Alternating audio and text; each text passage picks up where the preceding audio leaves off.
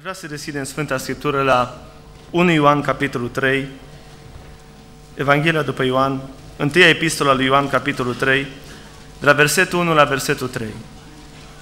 Pagina 1200. Întâia epistola lui Ioan, capitolul 3, de la versetul 1 la versetul 3. Și pentru toți cei care aveți Biblia și văd că aveți și pe PowerPoint, aș vrea să citim cu toți împreună. Amin? Amin. Și vedeți ce dragoste ne-a arătat Tatăl să ne numim copii ai lui Dumnezeu. Și suntem. Lumea nu ne cunoaște pentru că nu l-a cunoscut nici pe El.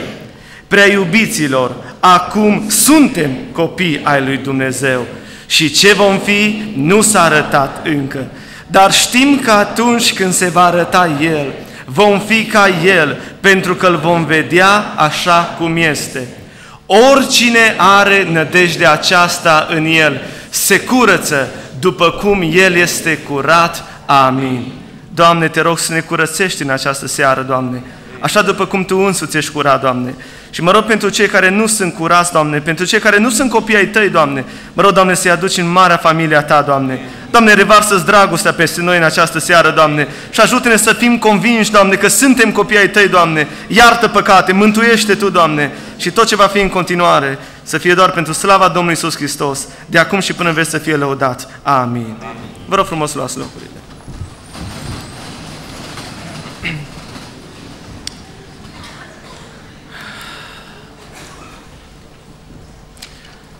Slăvit să fie Dumnezeu!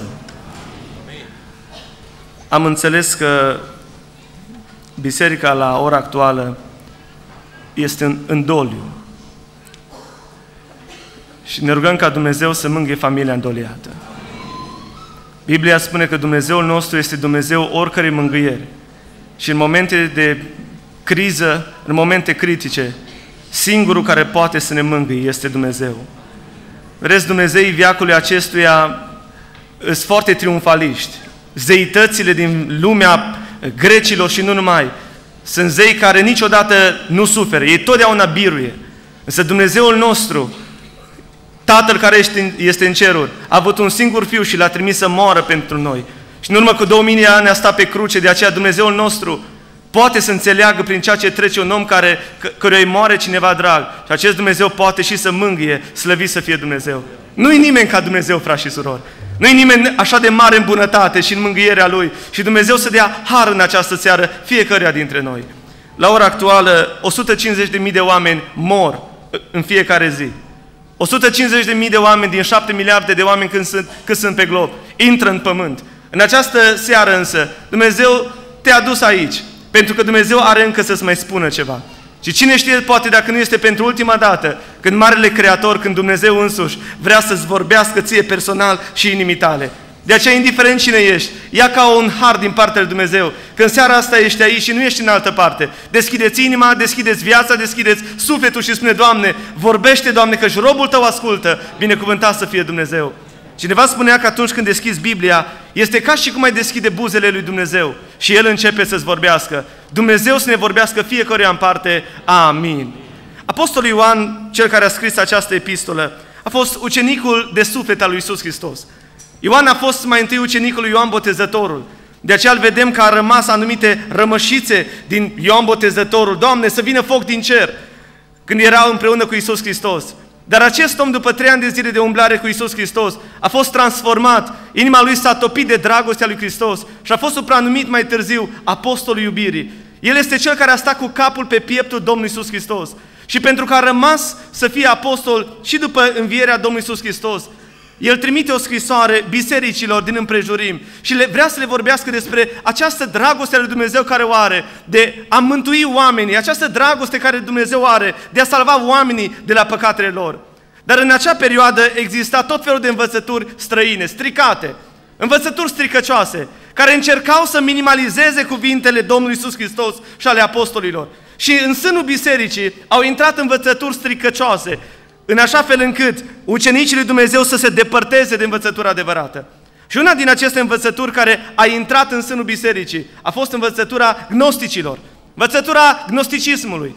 Și oamenii aceștia erau o elită specială în biserică. Oameni care credeau că Dumnezeu le-a descoperit numai lor. Numai ei au descoperit adev- anumite adevăruri pe care nimeni nu le mai cunoaște în viața asta. Anumite adâncimi ale lui Dumnezeu.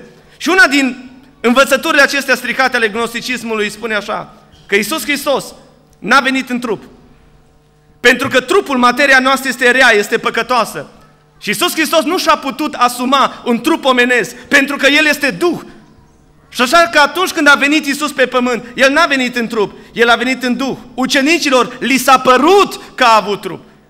Ucenicii au avut așa niște iluzii, niște fantasme, dar Isus n-a venit în trup. Și oamenii aceștia începeau să tulbure Biserica Domnului Isus Hristos. Și Apostolul Ioan, cel care a umblat cu Isus Hristos, a venit și își începe epistola în felul următor.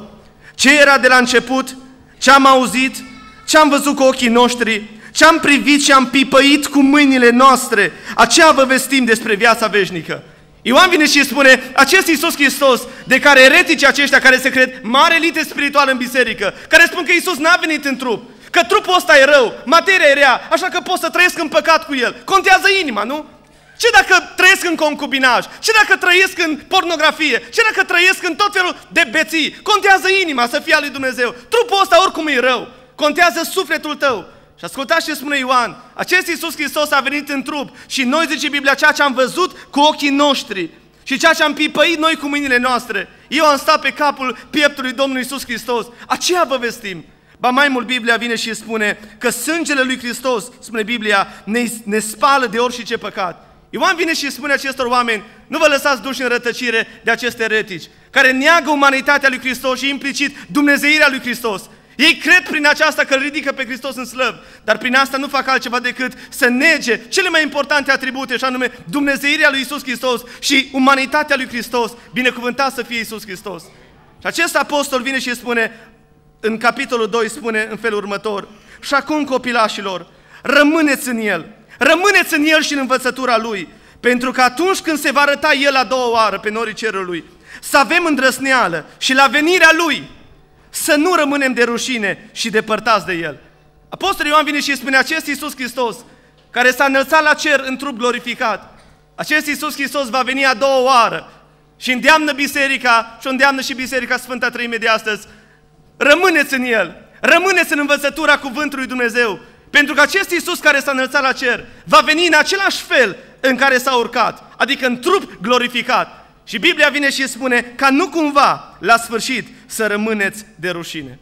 În seara asta Dumnezeu mi-a pus pe inimă să vă vorbesc despre această venire a lui Hristos, despre cea de-a doua venire a lui Hristos, despre acest eveniment extraordinar, iminent, care va avea loc pe planeta Terra și pe care copilul lui Dumnezeu îl așteaptă. Amin? Amin. Credem că Domnul va veni a doua oară pe norii cerului? Trebuie să recunoaștem, frați și surori, că această învățătură este una dintre cele mai neglijate învățături în bisericile Domnului de astăzi. Ne place să vorbim despre pocăință și nu-i rău, despre sfințenie, ne place să vorbim despre, uh, uh, mai știu eu ce alte lucruri, harul lui Dumnezeu, bunătatea lui Dumnezeu. Dar foarte rar se aude în bisericile noastre, sau din ce în ce mai rar, învățătură despre cea de-a doua venire a Domnului Iisus Hristos. Dacă te uiți în Sfânta Scriptură, vei vedea că aceasta este o temă predominantă. Apostolul Pavel numește învățătura asta și numește a doua venire a Domnului ca și fericita noastră nădejde. Oameni care abia așteptau fericita noastră nădejde. Oamenii mai de mult nu se, nu se salutau cu pacea Domnului. Oamenii mai de mult știți cum se salutau? Maranata. Dacă se întâlneau în piață, dacă se întâlneau în alte părți, spuneau Maranata, adică vine Domnul, vine Domnul, vine Domnul, vine Domnul. Această învățătură a avut mare succes, în mod special în vremurile de prigoană. Când oamenii erau apăsați, când Biserica Domnului era sub persecuție, oamenii au început să se roage și își doreau să vină Domnul. Dar odată ce oamenii au ajuns la bine, nu? Odată ce oamenii au avut de toate, parcă nici nu și-au mai dorit să vină Domnul, că mai poate câștiga 100 de mii de euro pe an. Cum e oare să mai câștigi încă un milion de dolari? Oamenii parcă au lăsat-o mai moale și cu gura lor spun, da, credem că vine Domnul. Dar în inima lor, dar viața lor nu se pregătește în mod, în mod necesar pentru această venire a Domnului. Aș vrea să vă pun o întrebare. Când a fost ultima dată când te-ai rugat din toată inima să spui, Doamne, vină mai curând, Doamne? Ne rugăm pentru bolnav și nu-i rău. Dar zice Biblia că Duhul și Mireasa au o singură rugăciune. Care? Vino, Doamne, mai curând, amin? Mai are biserica din Sfânta Treime acest strigăt, acest scâncet al Duhului, în care să spui, vino, Doamne, mai curând, mi dor de Tine, Te iubesc, Doamne, Dumnezeule, din toată inima mea. Ne rugăm ca Dumnezeu să vindece, ne rugăm ca Dumnezeu să mântuie. Amin, așa să fie. Dar mai presus de toate, spune Biblia, trebuie să grăbim ziua venirii lui Hristos și să ne silim să-i, fiți plă- să fim plăcuți și fără vină și găsiți în pace, slăviți să fie Dumnezeu. Vedeți, această învățătură, așa cum am spus, a fost mult mai primită când oamenii erau mai săraci material. Când oamenii sunt mai săraci material, depind mai mult parcă de Dumnezeu, se roagă mai mult, îl doresc pe Domnul mai mult. Mi-aduc aminte, în urmă cu câteva, cu un an, doi ani de zile, când, a fost, când au fost zăpezile acelea extraordinare în România, când se vedea numai puțin din acoperișul casei. Era foarte titrat evenimentul că un om care avea, uh, trebuia să facă dializă, nu mai putea să iasă din casă, să meargă la doctor, să-și facă dializa. Și știa că dacă nu se întâmplă ceva, moare. Și a sunat la 112. Și i s-a spus că o să vină elicopterul direct. Și o să coboare așa o scară și o să, o să le ia de acolo din, din casa aia. Că nu mai, nu mai avea cum să iasă.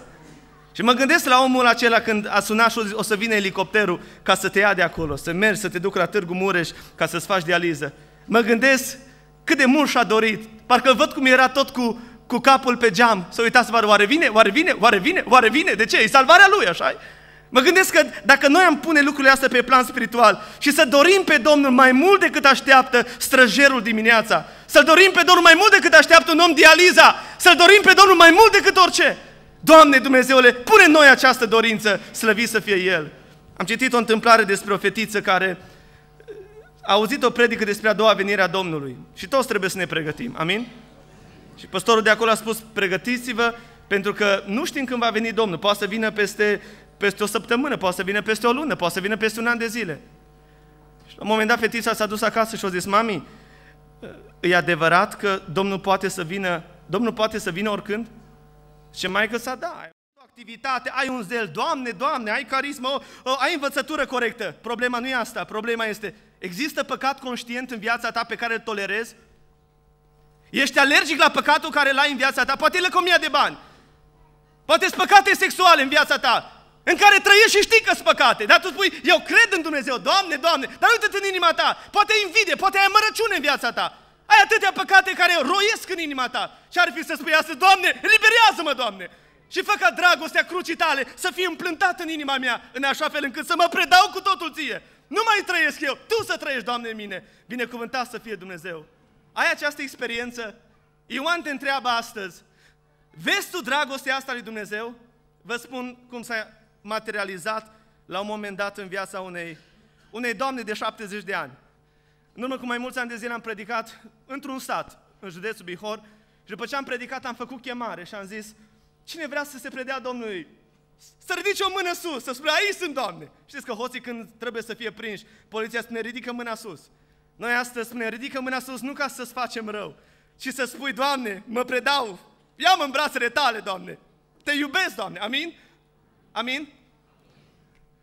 Și când am făcut chemarea asta, dintr-o dată o bătrânică de vreo 70 de ani de zile aproximativ, a început să sară așa ca și o minge, a început să laude pe Dumnezeu, eu sunt păcătoasă, eu sunt păcătoasă, eu sunt păcătoasă, mă pucăiesc asta, eu sunt păcătoasă. Și a dat mâna cu toți și ne-a pupat pe toți din biserică. Era o, o cameră mai mare.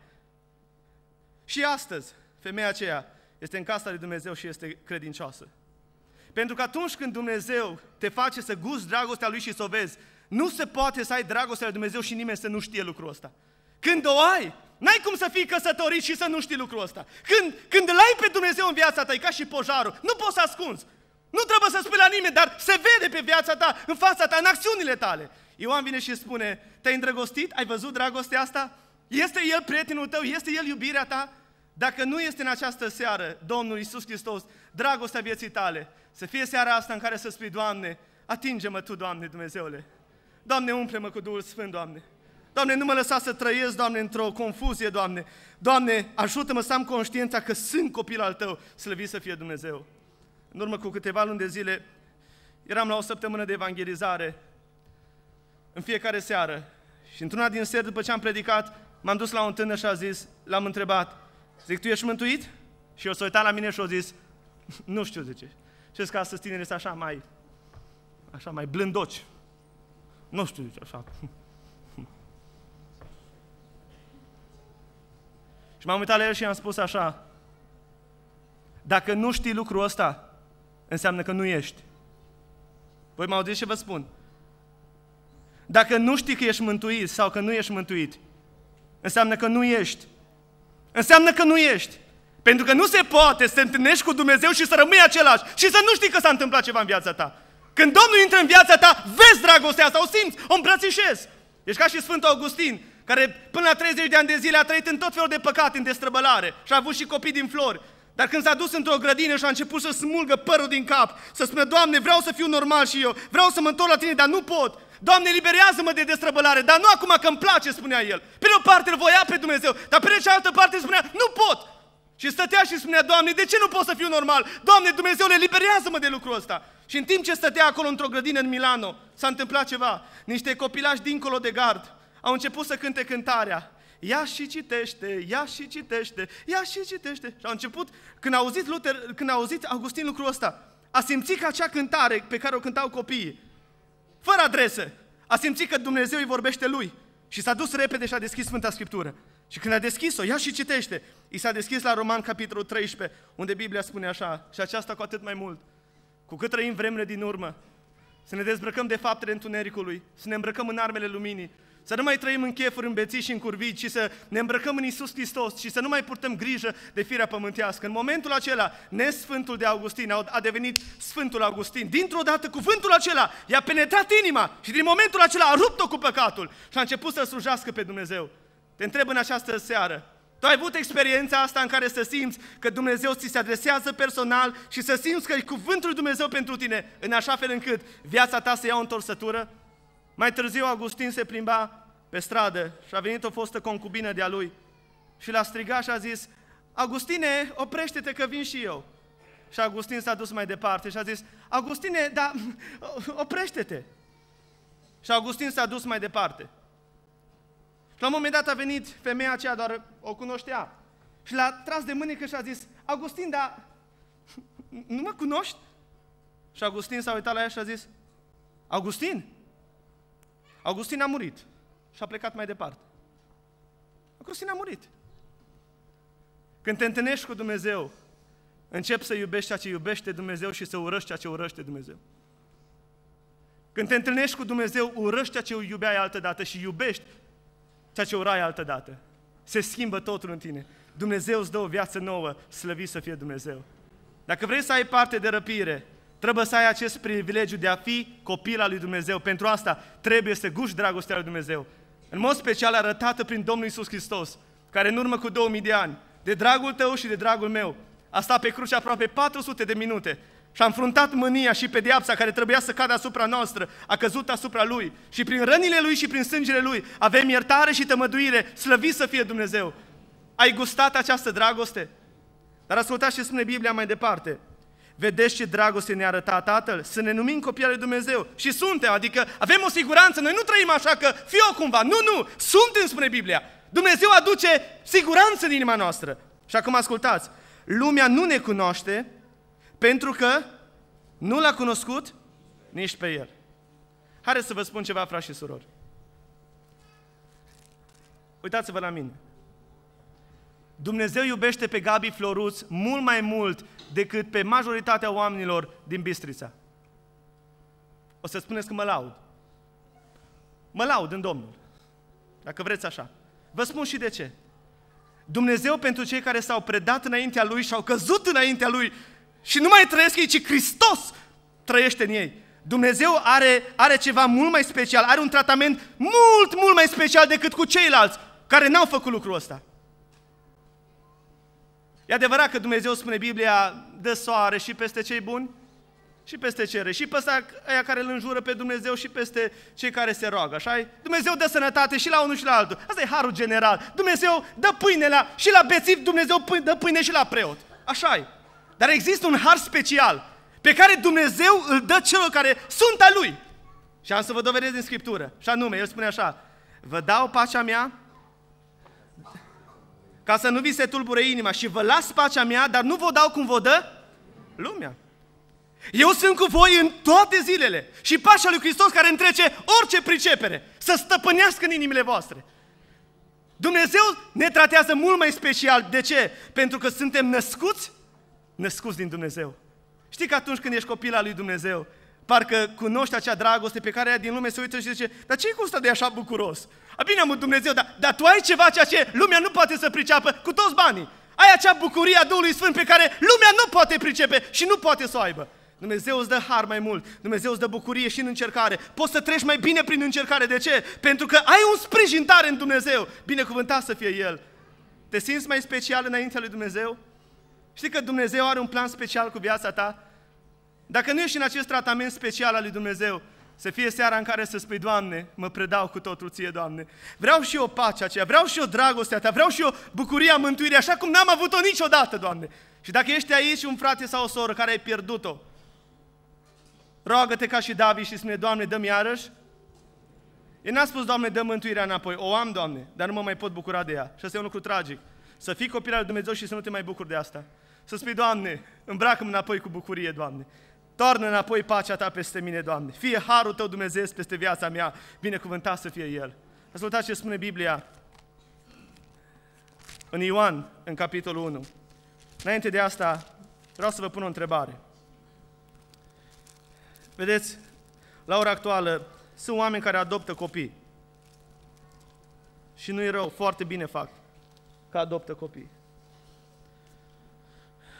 Dar dacă, de exemplu, e un copil de pe stradă și te cheamă Popescu și îl adopți în familia ta și o să-l cheme, de, o să-l cheme din momentul respectiv Popescu Marinel, dau un exemplu, Popescu Marinel. Am o întrebare. Îi el copilul tău sau nu-i copilul tău? Îi sau nu-i? Și îi, dar și nu-i, așa -i? Pe de o parte îi. Da, că în acte acolo. Dar îi el rup din tine. Îi rup din tine. Îi carne din carnea ta și sânge din sângele tău. Îi sau nu-i? Nu-i, așa-i? Vreți, frați și surori, dragi prieteni care sunteți aici, Dumnezeu când ne mântuie pe noi, el nu numai că ne ia din lume și spune, ok, de azi încolo ești copilul meu. Nu, Dumnezeu nu face așa, El nu joacă, El nu are jumătăți de măsură. Dumnezeu când ne face copii ai Lui, știți ce face? Zice Biblia, dar tuturor celor ce l-au primit, adică celor ce cred în numele Lui, le-a dat un drept să se facă copii al lui Dumnezeu, născuți nu din sânge, nici din voia firilor, nici din voia vreunui om, ci oamenii ăștia sunt născuți din Dumnezeu. Adică atunci când Dumnezeu te mântuie, El te face o făptură nouă cu totul. Ai ADN-ul lui Dumnezeu în tine. Ești a Lui, ești rupt din Dumnezeu. De-aia ai un, ai, un, ai un favor mai special înaintea lui Dumnezeu. Pentru că de astăzi încolo curge în tine puterea Lui. Ești a Lui și Ioan vine și spune, vedeți dragostea asta, să ne numească Dumnezeu copii ai Lui. Și acum ascultați, și suntem, zice Biblia. Și suntem născuți din El. Nu e o glumă, nu e că Dumnezeu zice, de azi încolo te fac copilul meu și te lasă tot așa. Dumnezeu te schimbă pe din interior și îți dă natură dumnezeiască și te face să fii părtaș firii dumnezeiești, slăvit să fie Dumnezeu. Tu ai avut acest har? Dacă n-ai avut, în seara asta mă rog să fie seara în care să spui, Doamne Iisuse Hristoase, fă-mă și pe mine copilul Tău în duh și în adevăr, Doamne. Fă-mă să gust dragostea Ta, Doamne, care întrece orice pricepere, Doamne. Intră în viața mea, Iisuse, Uită-te la viața mea, curățește-mă, fă-mă să văd, să gust dragostea ta și bunătatea ta în așa fel încât, Doamne, Dumnezeule, să fiu copil al tău. Chiar dacă lumea nu mă va cunoaște, și mă va amenința că divorțează de mine dacă mă pocăiesc. Chiar dacă neamurile se vor dezice de mine, chiar dacă lumea nu ne cunoaște, nici pe tine nu te-a cunoscut, Doamne Dumnezeule. Ești mai important ca soțul meu, ești mai important ca neamurile mele, ești mai important de, decât cei de pe scara blocului. Doamne Dumnezeule, fă-mă copil al tău, Doamne. Chiar dacă lumea mă va bașocori, vreau, Doamne, să gust dragostea asta ta, în așa fel încât, Doamne, din inima mea să curgă râuri de apă vie, slăvit să fie Dumnezeu. Nu-ți cunosc viața, nu-ți cunosc provocările, dar dacă este cineva aici cu o frică că el s-ar întoarce la Dumnezeu. El ar vrea să se predea cu totul înaintea lui Dumnezeu, dar are o frică că ce va zice lumea, ce va zice neamurile, ce va zice cu tare și cu tare. Și încă iubești slava oamenilor și nu iubești slava lui Dumnezeu. Știi ce să faci astăzi? Să spui, Doamne Iisuse, dacă Tu ai suferit și lumea nu te-a cunoscut, vreau, Doamne, să fiu și eu ca și Tine. Vreau să te primesc pe Tine, Doamne. Dacă e cazul să fiu certat cu, cu tare din pricina Ta toată viața mea, Doamne, dacă o să ține oră, e problema Lui, Doamne, Sufletul este al meu și al tău, Doamne, intră în inima mea, stăpânește-mă Tu, Doamne, binecuvântat să fie Dumnezeu. Lăudat să fie Dumnezeu. Merită, frați și surori, să-L iubești pe Dumnezeu? Care este cea mai mare poruncă? Care? Să iubești pe Domnul Dumnezeul tău cum? Toată inima ta, tot sufletul tău, tot cugetul tău, așa -i? Acum am o altă întrebare. Atunci care este cel mai mare păcat? Să nu-L iubești pe Dumnezeu cu toată inima ta, cu tot sufletul tău și cu tot cugetul tău. Ioan vine și spune, ai văzut dragostea asta? Atunci iubește-L pe Dumnezeu. Vorbești cu El. Vorbești cu Dumnezeu. Este El dragostea ta? Dacă nu și nu mai ai în mintea ta, este ca și cum ai pune la o cocie, la o căruță, semnul de Mercedes. Ce zici? Deci eu sunt penticostal, am Mercedes. Eu sunt uh, catolic, ortodox. Ai o emblemă, dar problema se pune alta. Și anume, ești schimbat pe din interior? Ești cu adevărat? Și suntem, spune Biblia. Ești curățat în sângele mielului? Dacă nu ești, astăzi Dumnezeu să facă această naștere din nou în inima ta. Amin? Slăvit să fie Dumnezeu. În al doilea rând, dacă vrei să ai parte de cea de-a doua venire a Domnului, și cred că toți vrem să avem parte, amin? Este cineva care nu vrea să meargă în cer la Dumnezeu? Este cineva? Toată lumea vrea să ajungă acolo. Dar primul lucru, trebuie să ai acest privilegiu, să fii numit copil al lui Dumnezeu, să guși dragostea lui Dumnezeu. Amin? Nu poți să ajungi în cer dacă nu ești copil al lui Dumnezeu. În al doilea rând, trebuie să crezi în promisiunea Lui, că El va veni. Ascultați ce spune Biblia. Preiubiților, versetul 2, acum suntem copii ai lui Dumnezeu. Și ce vom fi? Nu s-a arătat încă, dar știm că atunci, când, nu dacă se va arăta El, așa Când se va arăta El, spune Biblia, vom fi cum? Ca El. El va schimba trupul stării noastre smerite, spune Biblia, și îl va face cum? Asemenea trupului slavei sale. Și vom conduce tot universul ăsta împreună cu Isus Hristos și vom fi ca El. Omul ăsta și la 70 de ani parcă reverberează în el dragostea lui Dumnezeu. Voi fi ca El. Ce promisiune extraordinară! Dar știm, spre Biblia, că atunci când se va arăta El, este o siguranță. Nu dacă El se va arăta. Crezi lucrul ăsta? Este ceva foarte interesant, frați și surori, să știți că mulți români nu mai cred asta. Cine știe ce o fi, zice? Am să vă spun un lucru și vă rog să nu-l uitați. În Biblie ai de opt ori mai multe versete că Isus va veni a doua oară decât că a venit prima oară în Betleem, când s-a născut. Deci dacă cumva te îndoiești de faptul că Isus va veni a doua oară, trebuie să fii de opt ori mai sigur că Isus va veni a doua oară pe norii cerului decât că a venit prima dată în Betleem. Binecuvântat să fie Dumnezeu! Fericita noastră nădejde, spune Biblia, și arătarea Marelui nostru Dumnezeu, Isus Hristos, slăvit să fie El. Întrebarea se pune, ești pregătit pentru asta? Ești pregătit? Știți care este temerea mea de multe ori, frați și surori, cu privire la bisericile Domnului de astăzi? Mă tem ca nu cumva Dumnezeu să spună despre noi, cum a spus despre Horazin și Besaido. Știți ce a spus Domnul Iisus despre aceste două cetăți? A zis, vai de tine Horazine, vai de tine Besaido, de ce? Pentru că dacă ar fi fost făcute semnele astea în Sodoma și Gomora, ele de mult s-ar fi pocăit. Vai de tine să nu, spun, să nu poți să spune Dumnezeu despre mulți din Biserica Sfânta Trăime, despre cei care au venit aici, să zică, vai de tine, că dacă ar fi avut Sodoma și Gomora atâtea programe și atâtea predici și atâtea cântări de cor și atâtea, și atâtea, și atâtea, și atâtea beneficii ale Harului Dumnezeu și atâtea mijloace să-L cunoști pe Dumnezeu, de mult s-ar fi pocăit. Să spună, vai de tine, pentru că ai venit la biserică și ai rămas încăpățânat, nu te-ai predat, nu te-ai smerit înainte de Dumnezeu. Să nu spune Dumnezeu despre tine, vai de tine. Nu te-a lăsat Dumnezeu să te naști în Arabia Saudită, unde să nu fie picior de creștin, care să moară poate în păcatele lor. Dumnezeu te-a pus într-o țară în care s-a auz cuvântul lui Dumnezeu, ți-a dat părinți, ți-a dat prieteni care să te expună la cuvântul lui Dumnezeu. Spune, Doamne Dumnezeule, ajută-mă să nu te îngrop în lux și nepăsare, Doamne. Ajută-mă să mă predau cu totul înaintea Ta. Ca nu cumva Dumnezeu să spună, vai de tine, Ionele, vai de tine, Mario, Ți-am dat părinți pocăi și ai umblat unde nu trebuie. Vai de tine că ai auzit cuvântul lui Dumnezeu, dar ți-ai împietrit inima. Doamne, păzește-ne de acest verdict, Doamne. Și ajută-ne să ne smerim, Doamne, înaintea Ta. Dacă noi nu ne pregătim, pregătește Dumnezeu Africa, pregătește Indonezia, pregătește Dumnezeu China comunistă. Pentru că Isus a spus, știți ce a spus?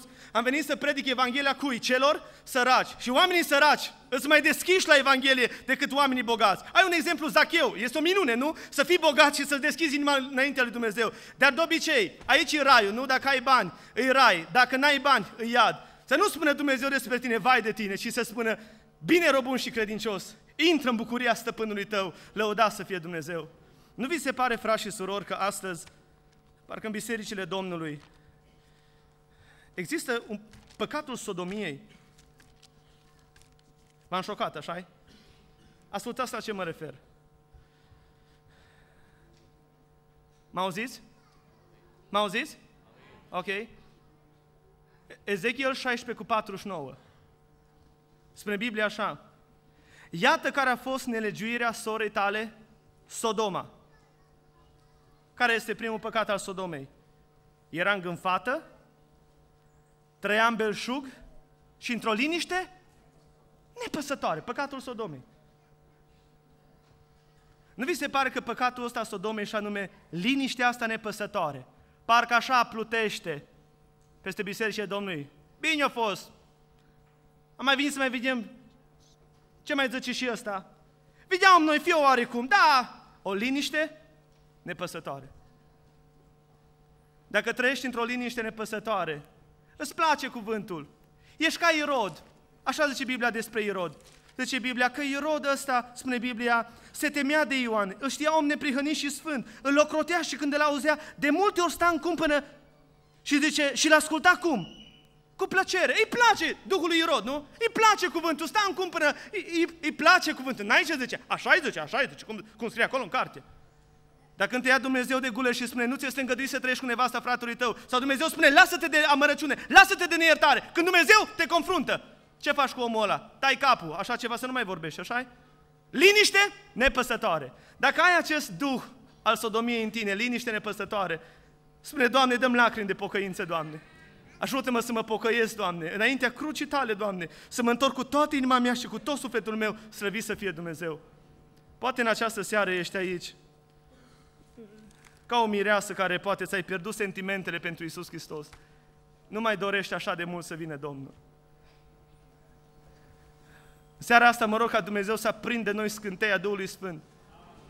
Și spune Biblia Că Duhul și Mireasa zic vino. V-ați gândit vreodată de ce și Duhul Sfânt dorește să vină Isus Hristos mai repede? V-ați gândit vreodată? De ce vrea Duhul Sfânt să vină Isus odată? Și El s-a săturat ca timp de 2000 de ani să convingă pe oameni de păcatele lor care stau în împietrire și stau în încăpățânare și Duhul Sfânt zice, Iisuse Hristoase, vină și sfârșește tu lucrarea asta. De 2000 de ani tot încerc ca să fac oamenii să se întoarcă, le vorbesc cât într-un fel, cât în altul, dar oamenii ăștia rămân înțepeniți. Ei știu că e bine, dar nu sunt gata să lase păcatul lor. Nu vor să se pocăiască, să se căiască, să se întoarcă de la păcatul lor. Și Duhul lui Dumnezeu vine și spune, vină, Doamne, mai curând, Doamne, și eu vreau să scap, Doamne, din lucrarea asta opositoare care o am împotriva unei lumi care respinge bunătățile Harului Dumnezeu. Biblia spune, nu vezi, omule, că bunătatea lui Dumnezeu te îndeamnă? Unii oameni nu înțeleg așa, la unii oameni le trebuie cancer să se întoarcă. Atunci trimit bilete în față, rugați-vă pentru mine. La unii le trebuie accidente, la unii le trebuie datorii, la unii le trebuie... Atunci îl caută pe Dumnezeu, că până atunci au fost morți. O liniște nepăsătoare. Au fost aroganți. Bine acum, e viața mea personală, așa mi-a zis cineva. Viața ta personală. Poți să mergi în iad cu viața ta personală. Trebuie Dumnezeu să ia biciul, să ne facă să cunoaștem că El ne iubește.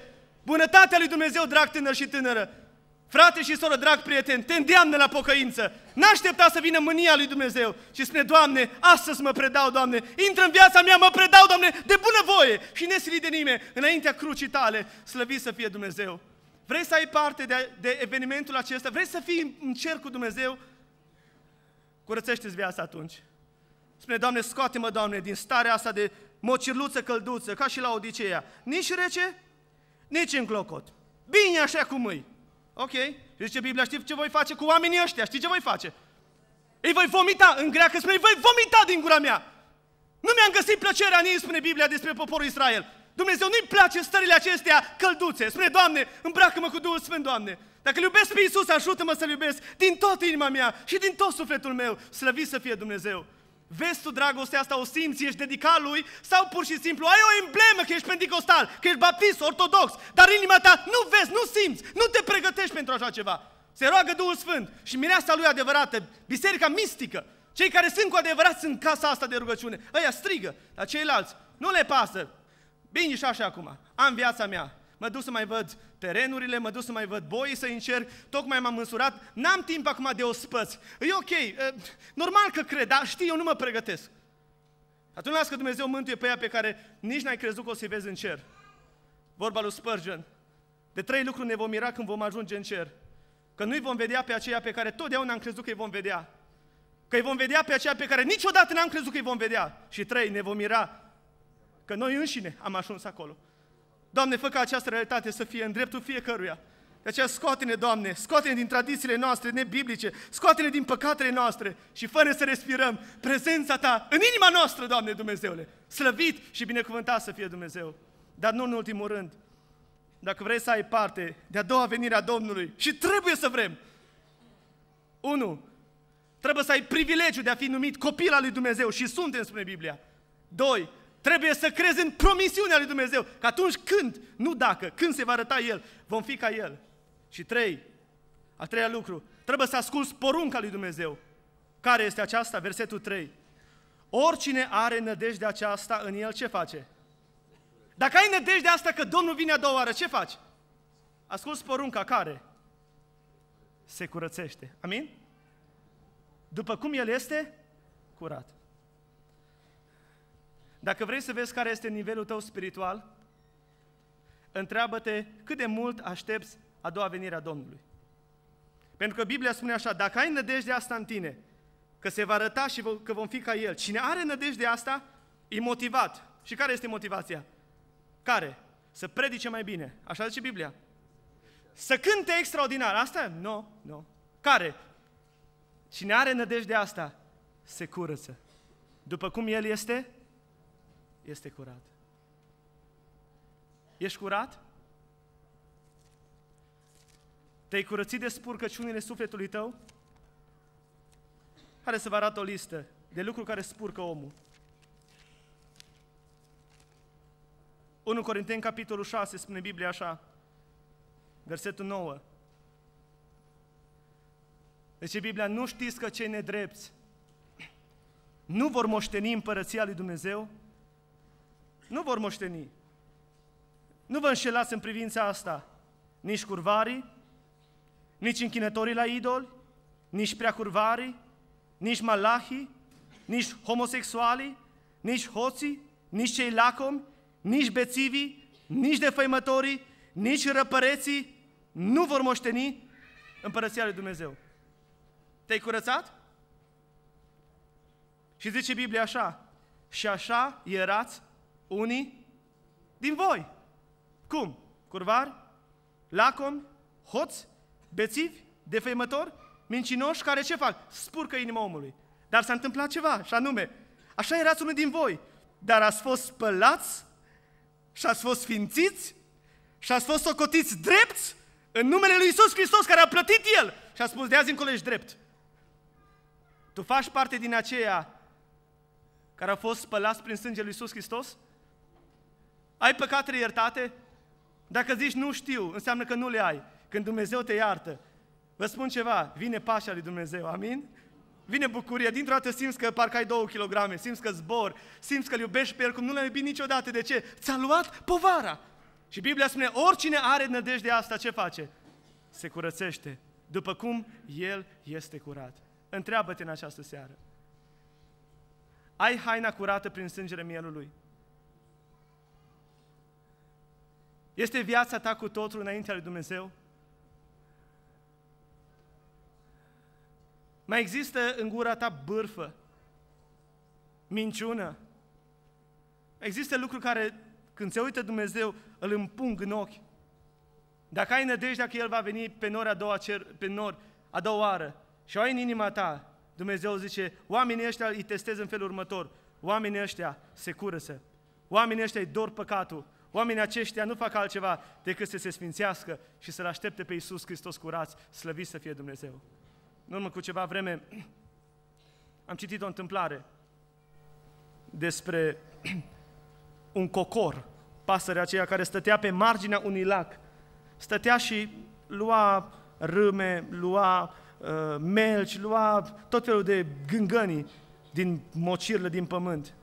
Și la un moment dat a venit pe acea uh, oglinda lacului, a venit o lebădă. Știți că lebăda cântă doar o singură dată în viață, înainte să moară. Și lebăda aceea a început să cânte, să cânte extraordinar. Și eu m-am gândit că o cântat cântarea care spune Cerul e un loc minunat, plin de har și slavă. Oh, vreau să-L văd pe Domnul meu, cerul e un loc minunat. Și a început să cânte, cum numai lebăda știe să cânte. Și cocorul a început să oprească, să hei, surioară, ce, ce, ce tocunți acolo? Și asta zice, am venit din cer, din raiul lui Dumnezeu și am văzut porțile de aur și am văzut străzile de aur și am văzut pe mielul lui Dumnezeu, am văzut bucuria, harul care e acolo, atâta bucurie, nu mai pot, trebuie să laud pe Dumnezeu. Și cocorul zice, ho, ho oprește-te, zice, da, acolo sunt râme. Acolo sunt, sunt gângănii. Și lepăda spune, dar cum poți să te gândești la așa ceva? Cum poți să te gândești că în cer la Dumnezeu să fie așa ceva? Atunci, eu n-am nevoie de raiul ăla, cântă în continuare, eu nu cred în așa ceva. Așa sunt mulți oameni, frați și surori. Când ai auzit că vorbesc despre iad, care este un loc unde zlăți cu bere, nu? Acolo ce femei, zice, acolo e băutură, acolo e distracție, mă duc la prietenii mei. Măcar că Biblia spune este un loc unde este plânsul și scrâșnirea dinților. Doamne, nu lăsa ca niciunul de ei să guste iadul, Doamne, ci să guste locul acela minunat, Doamne, în care să spune, Doamne, curățește-ne de râmele noastre, de, de, de păcatele noastre, Doamne, sfințește-ne viața și ajută-ne să ne întoarcem cu totul și cu totul la Tine, slăvit să fie Dumnezeu. Oricine are nădejde asta, spune Biblia, se curățește după cum El este curat. Binecuvântat să fie Dumnezeu. Întreabă-te în această seară. Ai hainele curate? Ți-a penetrat Dumnezeu viața cu viața lui Isus Hristos? Ți-a dat viața lui Dumnezeu? Aș vrea ca în această seară să fie ca și cu acel copil care s-a rătăcit undeva într-un stat în America și l-a pierdut părinții și a venit, a venit poliția și la el și l-a întrebat, o zis către el, dar cum te cheamă? Să știm unde să te ducem. Și copilul care era mic a spus, nu știu. Dar cum îi cheamă pe părinții tăi? Și copilașul a spus, nu știu. Dar și dar unde stai? Pe unde stai? Și copilul a spus, nu știu, dar știu că lângă casa mea este o cruce mare de tot. Dacă mă duci până acolo la cruce, de acolo eu știu să mă duc acasă singur. Dacă mă duci până la cruce, domnul polițist, de acolo eu știu să mă duc acasă. Dacă vrem să ajungem în cer la Dumnezeu, singura cale nu este alta decât Isus Hristos. Și pe drumul ăsta trec toți oamenii, că ești judecător, că ești avocat, că ești gospodină, că ești șofer. Toată lumea trebuie să se smerească și să treacă pe la cruce, să spună, Doamne, sângele Tău să mă curețe. Doamne Dumnezeu, Tu ești fântâna care mă speli de orice păcat, în suferințele Tale, Doamne. Viața mea, simt că trăiesc, Doamne.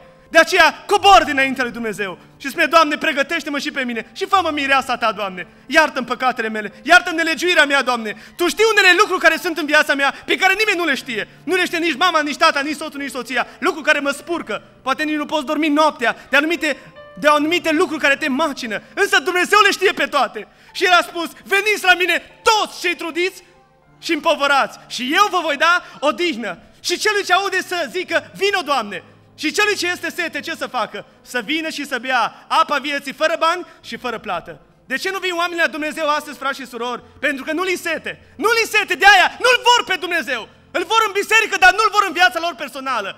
Dacă este cuiva sete, spune Biblia, izvorul lui Hristos, sângele lui Hristos, spune Biblia, ne curăță de orice păcat. N-ai vrea ca în această seară să spui, Doamne, produr mine sete după Tine, Doamne. Doamne, de atâtea ori, Doamne, mă simt uscat. Hristos a murit pentru tot. Să mor de sete cu Hristos lângă tine care este apa vieții. Doamne Dumnezeule, fă din inima noastră să iasă râuri de apă vie, Doamne. Crucea lui Hristos, acolo trebuie să coborâm toți, să ne curățim de păcatele noastre, de spurcăciunile noastre și să trăim, spre Biblia, știți cum? În cumpătate, în dreptate și nevlavie. Să nu spui ca așa acel tânăr care s-a dus la un păstor și a zis, frate păstor, zice, eu sunt mântuit, zice, de la brâu în sus. Păstorul s-a uitat și a zis, acum? Păi zice, de la brâu în jos, zice, nu sunt mântuit. Dar de ce? Pentru că mai trebuie să păcătuiesc. Nu pot, zice, nu pot. Și poate ești aici care trăiești în tot felul de păcate, mizerabile. Și ești din familie de pocăiți. Poate nu ești. E păcat indiferent ce religie ai. Spune, Doamne Dumnezeule, mântuiește-mă pe deplin, trup, suflet și Duh, Doamne Dumnezeule.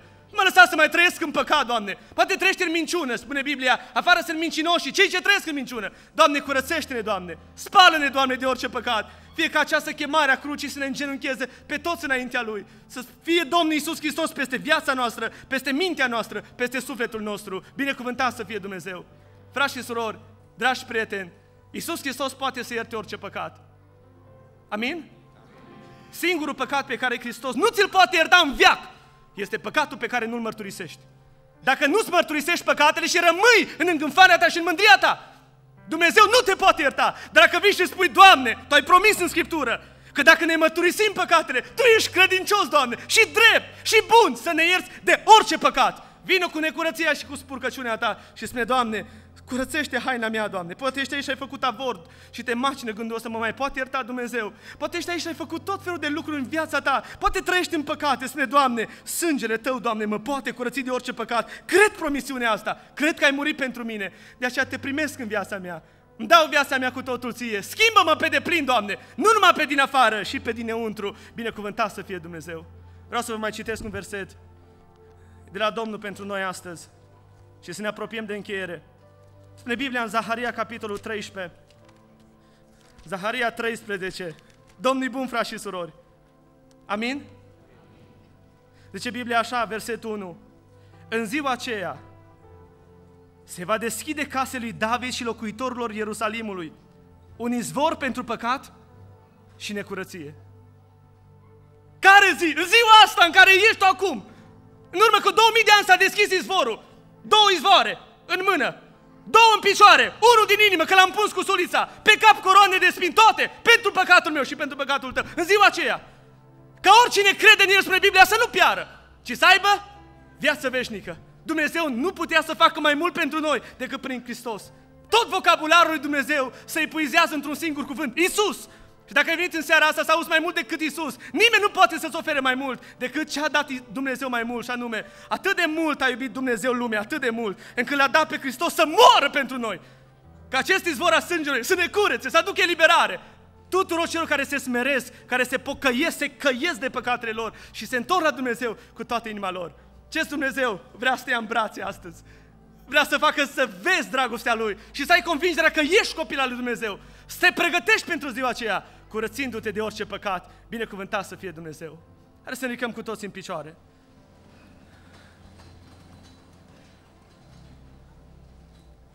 Hai să plecăm capetele înaintea lui Dumnezeu într-un moment de cercetare.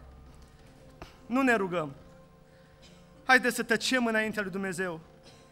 În seara asta știu că Dumnezeu a vorbit. Știu, știu că Dumnezeu a vorbit. Sunt unii oameni care numai au crezut că sunt copii al lui Dumnezeu și în seara asta ai înțeles că, că nu ești cu adevărat. Și ar fi să spui în seara asta, Doamne Iisuse, schimbă-mă din interior spre exterior, dăm pasiune pentru Isus, dăm dragoste pentru Isus, dăm bucuria părtășiei cu Tine, Iisuse Hristoase. Dacă ești aici și